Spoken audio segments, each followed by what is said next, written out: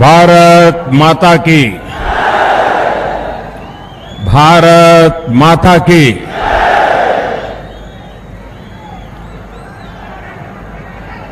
ಇಲ್ಲಿ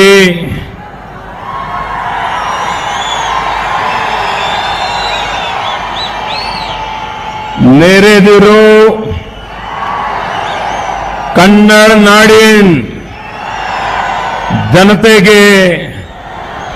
ನನ್ನ ನಮಸ್ಕಾರಗಳು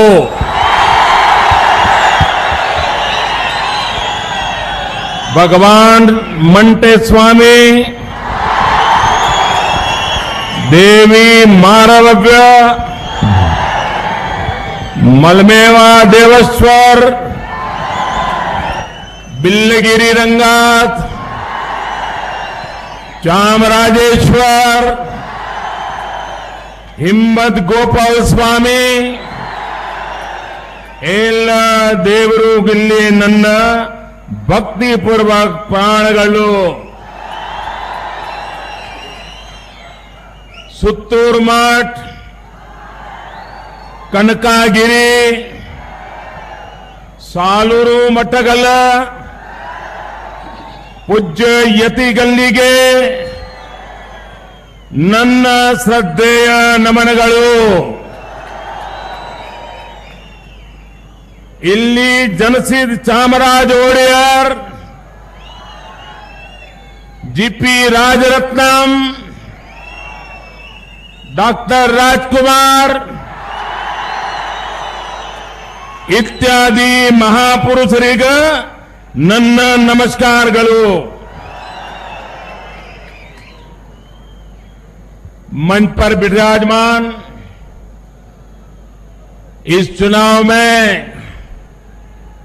कर्नाटक की जनता की आशा आकांक्षा बने हुए हमारे भावी मुख्यमंत्री श्रीमान येदुरप्पा जी।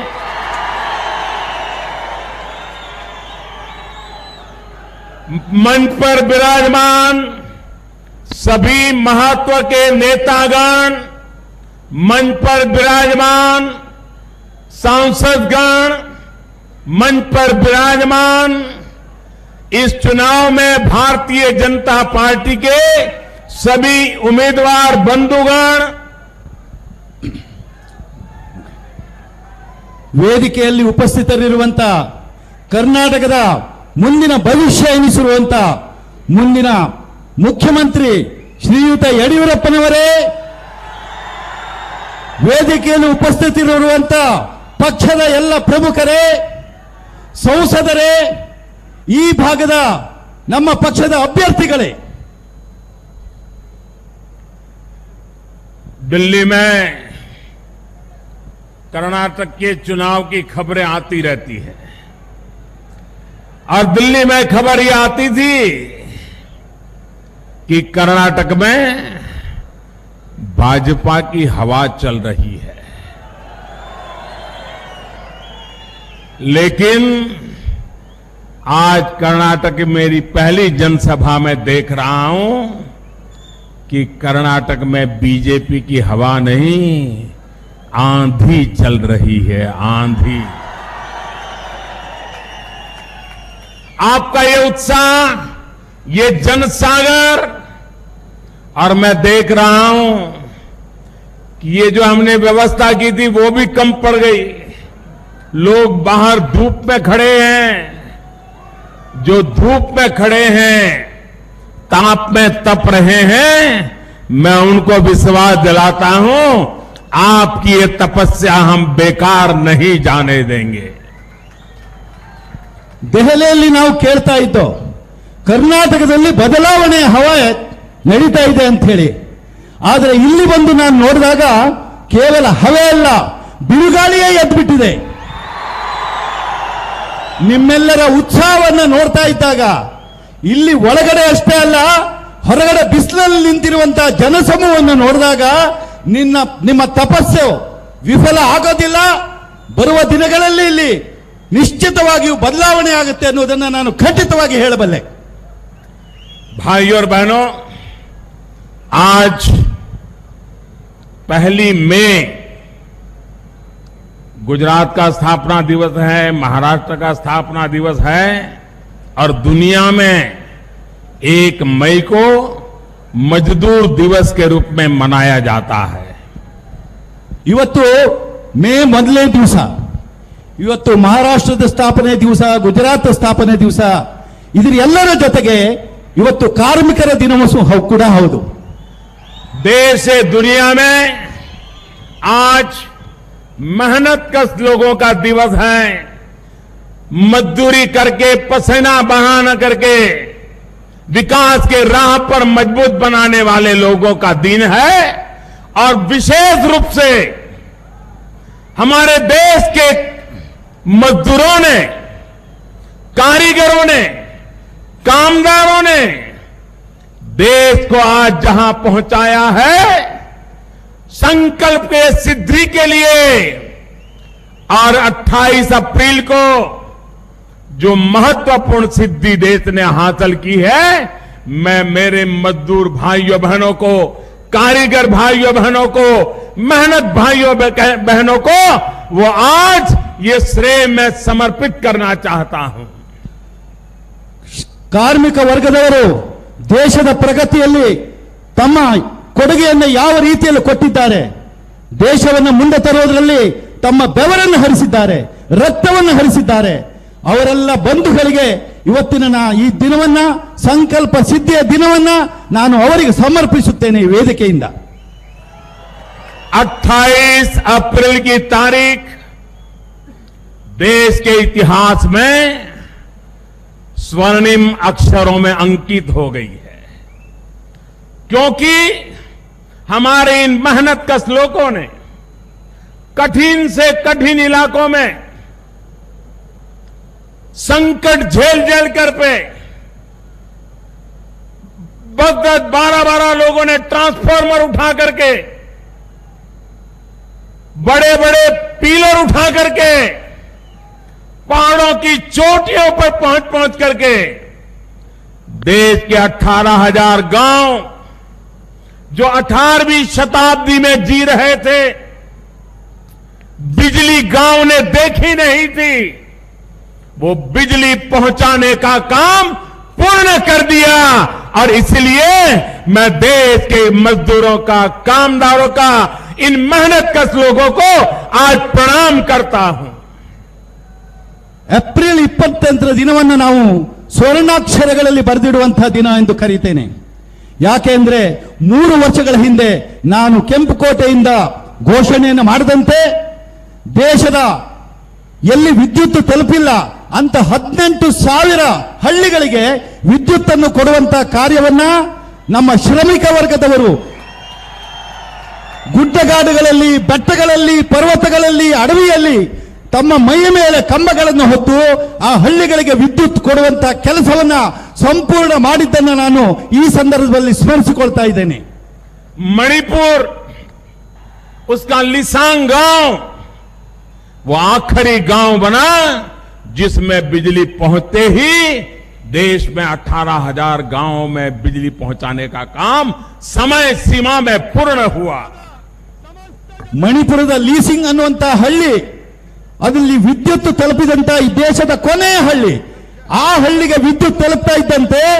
ವಿದ್ಯುತ್ ಇಲ್ಲದ ಹದಿನೆಂಟು ಸಾವಿರ ಹಳ್ಳಿಗೆ ವಿದ್ಯುತ್ ಅನ್ನು ತಲುಪಿದಂತೆ ಆಗಿದೆ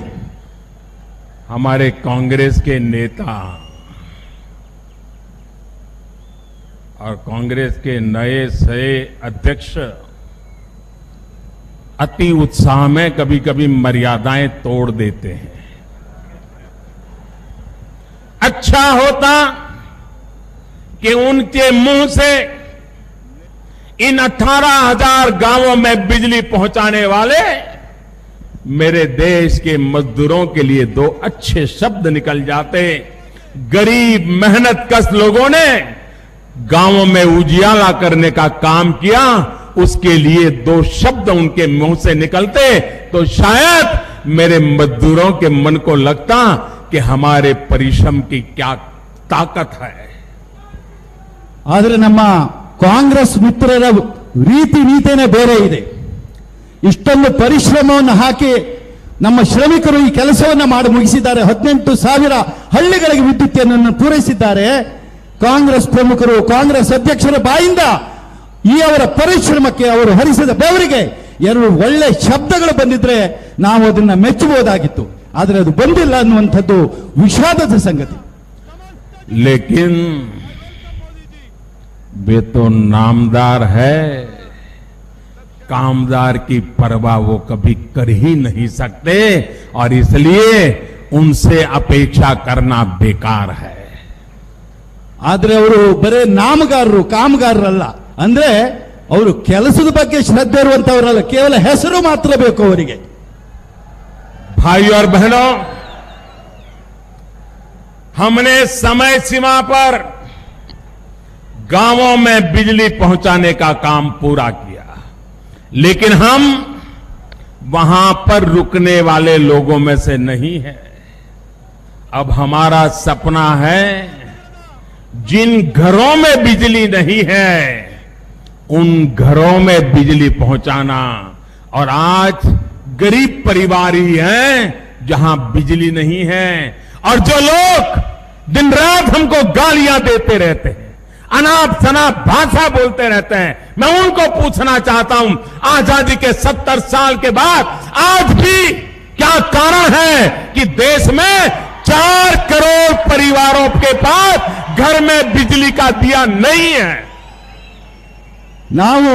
ನಮ್ಮ ಕಾಲಾವಧಿಯಲ್ಲಿ ಈ ಹದಿನೆಂಟು ಸಾವಿರ ಹಳ್ಳಿಗಳಿಗೆ ವಿದ್ಯುತ್ತನ್ನು ಕೊಟ್ಟಿದ್ದೇವೆ. ಆದರೆ ನಮ್ಮ ಕೆಲಸ ಇಲ್ಲಿಗೆ ಮುಗಿದಿದೆ ಅಂತ ನಾವು ತಿಳ್ಕೊಂಡಿಲ್ಲ. ನಮ್ಮ ಮುಂದಿನ ಗುರಿ ಏನು ಅಂತಂದ್ರೆ ಎಲ್ಲ ಕುಟುಂಬಗಳಿಗೆ, ಎಲ್ಲ ಪರಿವಾರದಲ್ಲಿ, ಎಲ್ಲ ಮನೆಗಳಿಗೆ ವಿದ್ಯುತ್ ತಲುಪುವಂತಾಗಬೇಕು. ನಮ್ಮ ಬಗ್ಗೆ ಇಲ್ಲ ಸಲ್ಲದ ಆರೋಪವನ್ನು ಮಾಡ್ತಾ ಇರುವವರು ಅಂತ ನಾನು ಕೇಳಲಿಕ್ಕೆ ಬಯಸ್ತೇನೆ. ಎಪ್ಪತ್ತು ವರ್ಷಗಳ ಅವರ ಅಧಿಕಾರಾವಧಿಯಲ್ಲಿ ಇನ್ನೂ ಕೂಡ ನಾಲ್ಕು ಕೋಟಿ ಮನೆಗಳು ವಿದ್ಯುತ್ ಇಲ್ಲದೆ ಕತ್ತಲೆಯಲ್ಲಿ ಬದುಕ್ತಾ ಇದ್ದಾರಲ್ಲ ಇದು ಯಾಕೆ ಅಂತ ಅವರಿಗೆ ಪ್ರಶ್ನೆ ಮಾಡಲಿಕ್ಕೆ ನಾನು ಇಲ್ಲಿ ಬಂದಿದ್ದೇನೆ हमने बीड़ा उठाया है जो काम सत्तर साल में नहीं हुआ हमारे देश में कुल 25 करोड़ घर है 25 करोड़ घर में चार करोड़ घर में आज भी बिजली नहीं है हमने बीड़ा उठाया है समय सीमा में सौभाग्य योजना के तहत इन चार करोड़ परिवारों को मुफ्त में बिजली कनेक्शन दे देंगे ನಮ್ಮ ಅವಧಿಯಲ್ಲಿ ಈ ನಾಲ್ಕು ಕೋಟಿ ಏನು ಕುಟುಂಬಗಳಿಗೆ ವಿದ್ಯುತ್ ತಲುಪಿಲ್ಲ ಆ ಕುಟುಂಬಗಳಿಗೆ ಆ ಮನೆಗಳಿಗೆ ವಿದ್ಯುತ್ ಅನ್ನ ತಲುಪಿಸುವಂತದ್ದನ್ನ ಮಾಡೇ ಮಾಡ್ತೀವಿ ಅನ್ನುವಂತ ಸ್ವಲ್ಪ ಸಂಕಲ್ಪವನ್ನ ಈ ಸಂದರ್ಭದಲ್ಲಿ ನಾನು ಮಾಡಲಿಕ್ಕೆ ಇಚ್ಛೆ ಪಡ್ತಾ ಇದ್ದೇನೆ आजकल कांग्रेस में ऐसे लोग लीडरशिप कर रहे हैं जिन्हें न देश के इतिहास का ज्ञान है जिन्हें देश के वंदे मातरम गीत का गौरव है जिन्हें न देश के इतिहास का पता है महापुरुषों का पता है अरे उन्हें उन्हीं की सरकार के बातों का भी अता पता नहीं है मैं जरा उनसे आज कुछ पूछना चाहता हूं ಇಂದಿನ ಕಾಂಗ್ರೆಸ್ ಮುಖ್ಯಸ್ಥರು ಏನಿದ್ದಾರೆ ಅವರಿಗೆ ಈ ದೇಶದ ಸಂಸ್ಕೃತಿಯ ಬಗ್ಗೆ ಈ ದೇಶದ ಹಿರಿಮೆಯ ಬಗ್ಗೆ ಈ ದೇಶದ ಬಲಿದಾನದ ಬಗ್ಗೆ ಯಾವುದೇ ಗೌರವ ಉಳಿದಿಲ್ಲ ಅಷ್ಟೇ ಅಲ್ಲ ಈ ದೇಶವನ್ನ ಉಳಿಸಲಿಕ್ಕೋಸ್ಕರವಾಗಿ ಅವರ ಹಿಂದಿನವರು ಏನು ಬಲಿದಾನ ಮಾಡಿದ್ದಾರೆ ಅನ್ನೋದು ಕೂಡ ಅವರಿಗೆ ಗೊತ್ತಿಲ್ಲ ಅದನ್ನ ಅವರಿಗೆ ನೆನಪು ಮಾಡಿಕೊಳ್ಳಿಕ್ಕೆ ನಾನು ಬಯಸ್ತಾ ಇದ್ದೇನೆ मैं जरा पूछना चाहता हूं हमारे आने से पहले सोनिया जी की सरकार थी मनमोहन जी प्रधानमंत्री की कुर्सी पर बैठे थे और मनमोहन सिंह जी ने 2005 में कहा था, जरा हमें सवाल पूछने से पहले नेताजी जरा जवाब दीजिए। 2005 में उस समय की सरकार के प्रधानमंत्री मनमोहन सिंह जी ने कहा था कि वे देश के हर गाँव में 2009 तक बिजली पहुँचा देंगे। ನಮಗಿಂತ ಹಿಂದೆ ಅಧಿಕಾರವನ್ನು ನಡೆಸಿದಂತ ಡಾಕ್ಟರ್ ಮನಮೋಹನ್ ಸಿಂಗ್ ರವರು ಪ್ರಧಾನಮಂತ್ರಿ ಆಗಿದ್ದಾಗ ಎರಡ್ ಸಾವಿರದ ಐದನೇ ಇಸ್ವಿಯಲ್ಲಿ ಅವರು ಒಂದು ವಾಗ್ದಾನವನ್ನು ಮಾಡಿದ್ರು. ಸೋನಿಯಾ ಗಾಂಧಿ ಅವರು ಆಗ ಕಾಂಗ್ರೆಸ್ನ ಅಧ್ಯಕ್ಷರಾಗಿದ್ದರು ಅವ್ರು ಏನು ಹೇಳಿದ್ರು ಎರಡ್ ಸಾವಿರದ ಐದರಲ್ಲಿ ಅಂತಂದ್ರೆ, ಎರಡ್ ಸಾವಿರದ ಒಂಬತ್ತರ ಒಳಗೆ ಈ ದೇಶದ ಎಲ್ಲ ಹಳ್ಳಿಗಳಿಗೆ ವಿದ್ಯುತ್ ಅನ್ನ ಪೂರೈಸ್ತೇನೆ ಅಂತ ವಾಗ್ದಾನವನ್ನು ಮಾಡಿದ್ರು ಅವರು. ಚಲೋ ಭಾಯ್. आप मनमोहन सिंह जी की बात का अनादर करते हो क्योंकि आप तो मनमोहन सिंह जी के निर्णय को भरी पत्रकार परिषद में पुष्प प्रेस संसद में फाड़ देते हो ಬಿಡಿ ಸ್ವಾಮಿ ಮನಮೋಹನ್ ಸಿಂಗ್ರ ಮಾತನ್ನು ಬಿಟ್ಬಿಡಿ ಯಾಕೆ ಅಂದ್ರೆ ಮನಮೋಹನ್ ಸಿಂಗ್ ಅವರು ಪ್ರಧಾನಮಂತ್ರಿ ಆದ- ಆಗಿದ್ದಾಗಲೇ ಏನು ಗೌರವವನ್ನ ನೀವು ಕೊಡ್ತಾ ಇದ್ದೀರಿ ಅನ್ನೋದನ್ನ ನಾವು ನೋಡಿದ್ದೇವೆ ಅವರು ಮಾಡಿದ ನಿರ್ಣಯದ ಪ್ರತಿಯನ್ನ ನೀವು ಹೊರದು ಕಸದ ಬುಟ್ಟಿಗೆ ಹಾಕಿದ್ದನ್ನು ನಾವು ನೋಡಿದ್ದೇವೆ मनमोहन सिंह जी की बात नहीं मानते हो कम से कम आपकी परम पूज्य माता जी की बात तो मानो ಮನಮೋಹನ್ ಸಿಂಗ್ರ ಮಾತು ಹೋಗ್ಲಿ ಸ್ವಾಮಿ ತಮ್ಮ ಪರಮ ಪೂಜ್ಯ ತಾಯಿಯವರು ಮಾತೆಯವರ ಮಾತನ್ನಾದ್ರೂ ನಡೆಸ್ಕೊಡಿ आप ಅದನ್ನಾದ್ರೂ ನೆನಪಿಟ್ಕೊಳ್ಳಿ आपकी माताजी मैडम सोनिया जी ने 2005 में मनमोहन सिंह जी के भी आगे एक कदम रख के कहा था कि 2009 तक मनमोहन सिंह जी ने कहा था, हर गाँव में बिजली पहुंचाएँगे। आपकी माताजी ने कहा था, हर घर में बिजली पहुंचाएँगे 2009 तक पहुंचाएँगे 2014 तक आप बैठे थे, मेरे आने तक आप बैठे थे, क्यों काम नहीं किया, क्यों देश को गुमराह कर रहे हो?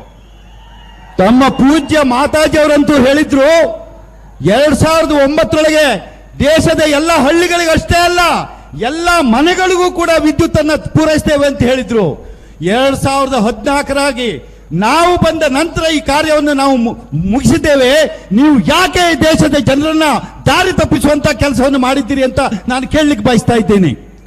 और आप देश के गरीब मेहनत कश मजदूर जिन्होंने इतना बड़ा काम किया उनकी मजाक उड़ाते हो मखौल उड़ाते हो बेइज्जती करते हो ನೀವು ಈ ದೇಶದ ಉಳಿವಿಗೋಸ್ಕರ ದೇಶಕ್ಕೋಸ್ಕರ ಬಲಿದಾನವನ್ನು ಮಾಡಿದಂತ ತ್ಯಾಗಿಗಳನ್ನ ಅವ್ರನ್ನ ಮಜಾಕ್ ಮಾಡ್ತಾ ಇದ್ದೀರಿ ಹಾಸ್ಯ ಮಾಡ್ತಾ ಇದ್ದೀರಿ ಅವ್ರನ್ನ ಕಡೆಗಣಿಸ್ತಾ ಇದ್ದೀರಿ साथियों जरा मैं कर्नाटक की बात करना चाहता हूं करूं ना ನಾನೀಗ ಸ್ವಲ್ಪ ನಮ್ಮ ರಾಜ್ಯ ಇಲ್ಲಿ ಕರ್ನಾಟಕದ ವಿಷಯವನ್ನು ಹೇಳಲಿಕ್ಕೆ ಬಯಸ್ತೇನೆ करूं ना ಕೇಳ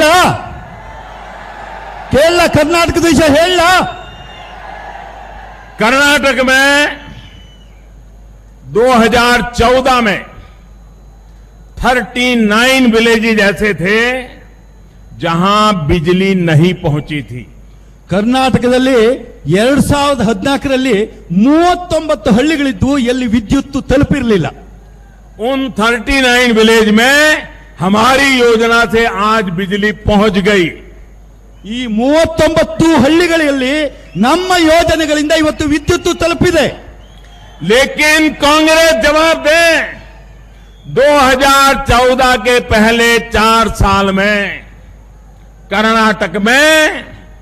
सिर्फ दो गांव में ही बिजली पहुंची थी चार साल में दो गांव और आप हमारा हिसाब मांग रहे हो ಎರಡ್ ಸಾವಿರದ ಹದಿನಾಲ್ಕ ಹೊತ್ತಿಗೆ ಕರ್ನಾಟಕದಲ್ಲಿ ಕೇವಲ ಎರಡು ಹಳ್ಳಿಗಳಲ್ಲಿ ಮಾತ್ರ ವಿದ್ಯುತ್ ತಲ್- ತಲುಪಿತ್ತು ನೀವು ನಮ್ಮ ಹತ್ರ ಲೆಕ್ಕ ಕೇಳ್ತಾ ಇದ್ದೀರಾ ಈಗ भाइयों बहनों लोकतंत्र की एक विशेषता है लोकतंत्र में हर किसी की बात का महत्व होता है। छोटे से छोटे व्यक्ति की बात की भी ताकत होती है। इतना ही नहीं, भाइयों बहनों, कोई बड़ा नेता संसद में और संसद के बाहर, कोई विधायक सदन के और सदन के बाहर, कोई सामान्य नागरिक, जो भी कहे लोकतंत्र में उन बातों को गंभीरता से लेना जा- होता है हम भी हमारी ये जिम्मेवारी मानते हैं कि हर बात को चाहे विपक्ष की तरफ से कही जाए तो भी गंभीरता से लेनी चाहिए ಪ್ರಜಾಪ್ರಭುತ್ವದಲ್ಲಿ ಪ್ರತಿಯೊಬ್ಬರ ಮಾತನ್ನು ಕೇಳುವುದು ಬಹಳ ಮಹತ್ವ ಆಗುತ್ತೆ ಬಂಧುಗಳೇ ಸಂಸತ್ತಿನ ಒಳಗೆ ಕೇಳಿರೋದಾಗ್ಲಿ ಸಂಸತ್ತಿನ ಹೊರಗಡೆ ಒಬ್ಬ ಸಾಮಾನ್ಯ ನಾಗರಿಕ ಕೇಳಿದ್ದನ್ನು ಕೂಡ ನಾವು ಅದನ್ನು ಗಂಭೀರತೆಯಿಂದ ಕೇಳಿ ಅದಕ್ಕೆ ಪರಿಹಾರವನ್ನು ನೀಡುವಂತಹದ್ದು ನಮ್ಮ ಕರ್ತವ್ಯ ಅದೇ ರೀತಿ ನಮ್ಮ ವಿರೋಧಿ ಪಕ್ಷಗಳು ಏನು ಕೇಳಿರ್ತವೆ ಅವುಗಳನ್ನು ಕೂಡ ಗಂಭೀರವಾಗಿ ಪರಿಗಣಿಸುವಂತದ್ದನ್ನ ನಾವು ಮಾಡಬೇಕಾಗುತ್ತೆ ಅದನ್ನ ಮಾಡ್ತಾ ಬಂದಿದ್ದೇವೆ कांग्रेस अध्यक्ष जी ने हाल ही में मुझे एक चुनौती दी उन्होंने कहा अगर मैं संसद में पंद्रह मिनट बोलूंगा तो मोदी जी बैठ भी नहीं पाएंगे ये उन्होंने मुझे चुनौती दी है ಇತ್ತೀಚೆಗೆ ಕಾಂಗ್ರೆಸ್ ಅಧ್ಯಕ್ಷರು ನನಗೊಂದು ಸವಾಲನ್ನ ಎಸೆದರು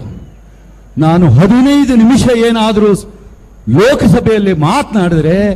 ಮೋದಿ ಅವರು ಕುಳಿತುಕೊಳ್ಳಿಕ್ಕೆ ಸಾಧ್ಯ ಆಗೋದಿಲ್ಲ ಅನ್ನುವಂಥ ಸವಾಲನ್ನ ನನಗೆ ಎಸೆದರು वे पंद्रह मिनट बोलेंगे ये भी एक बहुत बड़ी बात है ಅವರು ಹದಿನೈದು ನಿಮಿಷ ಮಾತಾಡ್ತಾರೆ ಅನ್ನುವುದೇ ಬಹಳ ದೊಡ್ಡ ಸಂಗತಿ और मैं बैठ नहीं पाऊंगा ये सुनकर तो मुझे याद आता है वाह क्या सीन है ಅವರು ಹದಿನೈದು ನಿಮಿಷ ನಾನು ಕೂತ್ಕೊಳ್ಳೋದಿಲ್ಲ ಅನ್ನೋದನ್ನು ಕೇಳಿಯೇ ನನಗೆ ಆಶ್ಚರ್ಯ ಆಗುತ್ತೆ ನಗು ಬರುತ್ತೆ कांग्रेस के श्रीमान अध्यक्ष जी आपने सही फरमाया है हम आपके सामने नहीं बैठ सकते आप तो नामदार है नामदार और हम कामदारों की क्या हैसियत कि हम आपके सामने बैठ पाए अरे आप तो नामदार हैं हम तो कामदार है हम तो अच्छे कपड़े भी नहीं पहन सकते हैं आपके सामने बैठने का हमें हक कहां से हो सकता है ಕಾಂಗ್ರೆಸ್ ಅಧ್ಯಕ್ಷರೇ ತಾವು ಹೆಸರುವಂತರು ತಾವು ನಾಮದಾರರು ಹೆಸರು ಗಳಿಸಿದಂಥವ್ರು ನಾವು ಕಾಮಗಾರರು ಅಂದ್ರೆ ಕೆಲಸ ಮಾಡುವಂಥವ್ರು ತಮ್ಮಂತ ಹೆಸರುವಂತರ ಮಧ್ಯದಲ್ಲಿ ನಾನು ಹದಿನೈದು ನಿಮಿಷ ಈ ಕೆಲಸಗಾರ ಹೇಗೆ ಕುಳಿತುಕೊಳ್ಳಿಕ್ಕೆ ಸಾಧ್ಯ ನಾವು ಸಾಮಾನ್ಯ ಬಟ್ಟೆ ಉಡುವಂತ ಕೆಲಸಗಾರರು ತಾವು ಹೆಸರುವಂತರು ತಾವು ಹೇಗೆ ಕೂತ್ಕೊಳ್ಳಿಕ್ಕೆ ಸಾಧ್ಯ लेकिन नामदार आपकी इस बातों से मुझे चोट नहीं पहुंचती है क्योंकि हम लोगों ने सदियों से ये झेला है नामदारों के जुल्म झेलते झेलते आए हैं और इसलिए आपकी ऐसी किसी बात से हम हताहत नहीं होते हैं हम झेलने की ताकत बढ़ाते चले जा रहे हैं ಕಾಂಗ್ರೆಸ್ ಅಧ್ಯಕ್ಷರೇ ತಮ್ಮ ಯಾವುದೇ ಮಾತಿನಿಂದ ನಾವು ಘಾಸಿಗೊಳ್ಳುವುದಿಲ್ಲ ಬೇಸರ ಮಾಡಿಕೊಳ್ಳೋದಿಲ್ಲ ಯಾಕೆಂದ್ರೆ ಕಾಲಾಂತರದಿಂದ ನಾವು ಇದನ್ನು ಸಹಿಸಿಕೊಂಡೇ ಬಂದಿದ್ದೇವೆ ನಿಮ್ಮಂತ ಹೆಸರುವಂತರ ನಡುವೆ ನಾವು ಕೆಲಸವನ್ನು ಮಾಡಿ ಮಾಡಿ ಈ ಈ ರೀತಿಯ ಸವಾಲುಗಳನ್ನು ಎದುರಿಸಿಕೊಂಡು